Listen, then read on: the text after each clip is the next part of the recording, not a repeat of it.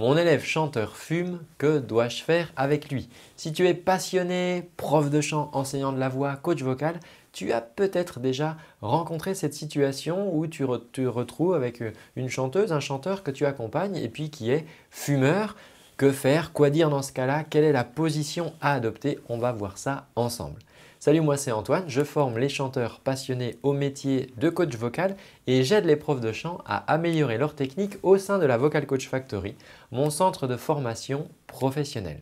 Alors je sais qu'il y a des profs de chant ou des coachs qui refusent tout simplement de travailler avec des fumeurs de manière très ferme, avec la logique suivante qui dit je ne veux pas travailler euh, une voix qui se fait endommager par le tabac. D'accord? Donc voilà, ces personnes, moi des collègues me l'ont dit, m'ont dit écoute Antoine, moi c'est catégorique, je ne travaille pas avec quelqu'un qui fume parce que je ne vois pas l'intérêt de l'aider à améliorer sa voix si sa voix est en même temps dégradée par la cigarette. Alors évidemment, comme on dit, hein, chacun voit midi à sa porte et évidemment moi ma position elle est différente et c'est d'ailleurs une des premières règles que j'enseigne dans la Vocal Coach Factory au, coach en devenir, c'est de ne pas juger son élève. Si tu commences à juger, à porter du jugement de valeur sur ton élève et sur sa manière de gérer sa vie, eh bien le coaching va s'arrêter assez rapidement parce qu'en réalité, tu perds tes capacités, tu perds en fait euh, la clarté du coach. Et ça va vraiment être la différence entre un coach et un professeur de chant ou un enseignant c'est que le coach doit avoir vraiment cette neutralité.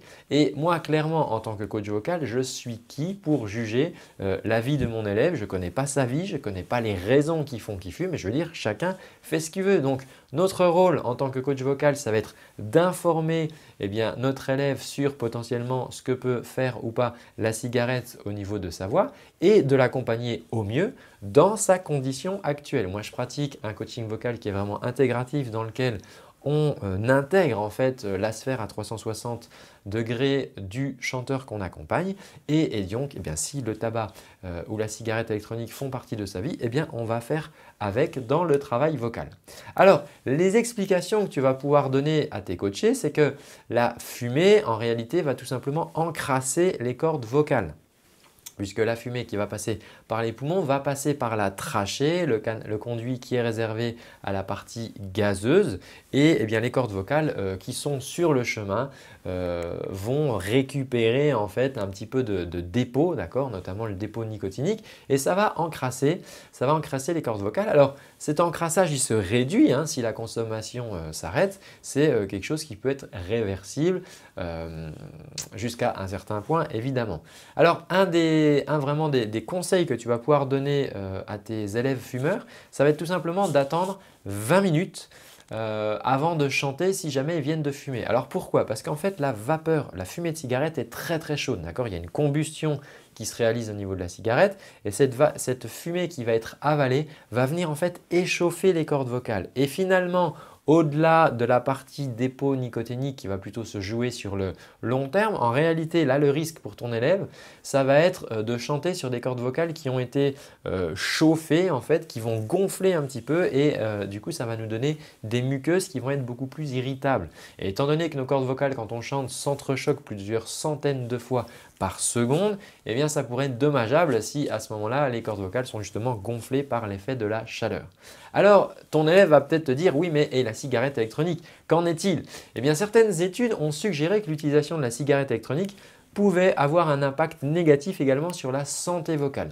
En 2016, donc tu vois une étude qui a quand même déjà été réalisée il y a plus de 7 ans, une étude publiée dans le Journal of Voice a examiné l'impact de la cigarette électronique sur la fonction vocale chez des utilisateurs réguliers de ce dispositif. Et les résultats ont montré que les utilisateurs réguliers eh bien, avaient des scores significativement plus bas pour la qualité vocale, pour la stabilité vibratoire et pour la fonction respiratoire par rapport à des non-utilisateurs de cigarettes électroniques.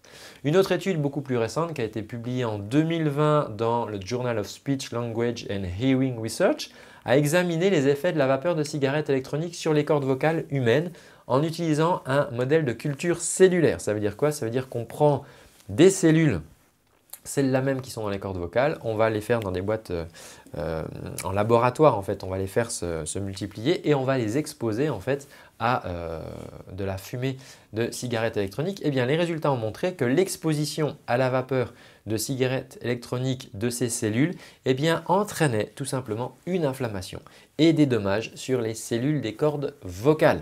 Donc euh, trois conseils que je pourrais te donner euh, pour tes, élèves, qui fument, hein, si toi-même tu encadres des élèves qui fument, c'est de faire la part des choses au niveau du son. Dans le son que tu vas entendre dans leur voix, il y a ce qui va euh, avoir trait à la technique vocale et là tu vas pouvoir les aider là-dessus. Et puis il va y avoir la dégradation du son liée à la cigarette ou à la cigarette électronique. Et donc cette partie-là, ben, euh, ça ne sert à rien d'essayer de, la corriger quelque part puisque là c'est une altération mécanique des cordes vocales. Et ça, tu ne vas pas pouvoir forcément la récupérer par euh, de la technique vocale. Donc toi, vraiment pour gagner du temps dans ton coaching et éviter d'en perdre, eh bien fais vraiment la part des choses dans le son de la voix de ton élève. Qu'est-ce qui a trait plutôt à sa pratique du coup de la cigarette ou alors à un manque de technique vocale? Deuxième chose, ça va être d'aider ton élève en lui faisant faire des vocalises pour garder en fait la souplesse de ses cordes vocales puisque la gangue euh, nicotinique qui va venir se déposer risque en fait euh, eh de, justement d'entamer cette souplesse et tu vas également pouvoir aider ton élève en lui donnant des conseils d'hydratation pour euh, bien hydrater ses cordes vocales. Encore une fois, hein, on n'a pas de jugement à apporter là-dessus. Euh, moi, ce que j'enseigne dans la Vocal Coach Factory, c'est qu'on prend les chanteuses et chanteurs comme ils viennent et on les aide du mieux qu'on peut pour qu'ils puissent aller là où ils veulent aller. Et là, c'est vraiment notre rôle. Le reste, ça ne nous regarde pas. Alors, si toi-même tu es passionné par la voix.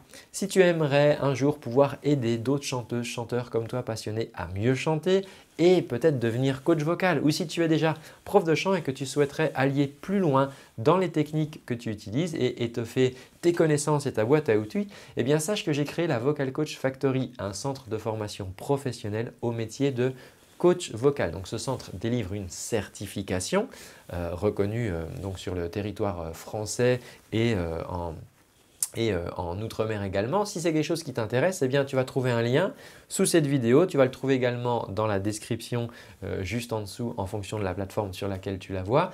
Et sur ce lien, tu vas trouver eh bien, toutes les informations. Tu vas trouver le programme pédagogique, les frais d'inscription, le planning des cours. Tout se réalise en ligne. Donc si tu habites euh, toi-même en dehors de la France, tu vas pouvoir suivre ces cours en direct avec moi. Mais justement, il faudra candidater. Donc je t'invite à aller cliquer sur ce lien. On se parle très bientôt et d'ici là, ben, moi je te donne rendez-vous dans un prochain contenu. Ciao